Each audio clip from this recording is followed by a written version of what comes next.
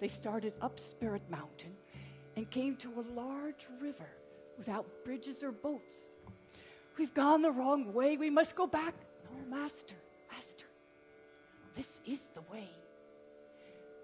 Just then, a ferry boat with a ferryman came closer. Come aboard, called the ferryman.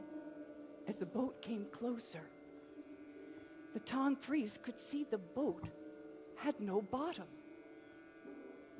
Monkey King, with his diamond eyes, could see the ferryman was Buddha. This way. Thank you for coming to lead my master to safety. Master, go on board, it's safe. Seeing the empty bottom, the Tang priest hesitated, but Monkey King came up behind him and pushed him onto the boat.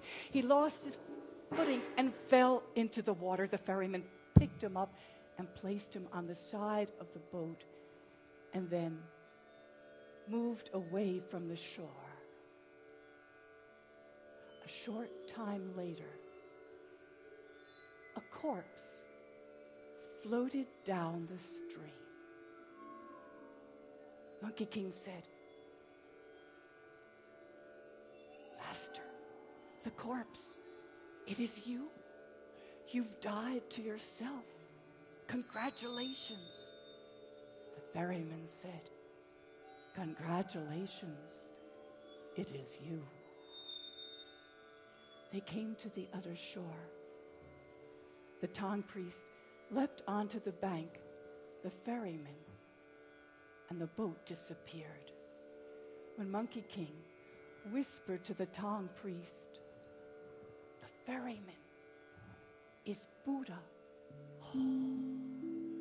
a flash of light ran through the Tang priest.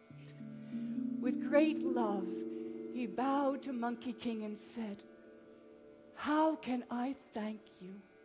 I never could have made the journey without you. Master, no need for thanks. Your goodness guided me. My powers protected us. We are here to support each other. The true self is no self.